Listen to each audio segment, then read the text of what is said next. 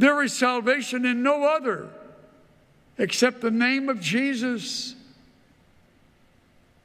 Trust in Jesus.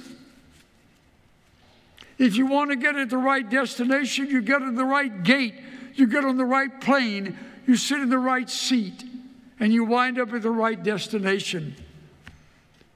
If you want to wind up in heaven and the glories of heaven, you must go God's way through Christ alone, by faith alone, because of his grace alone.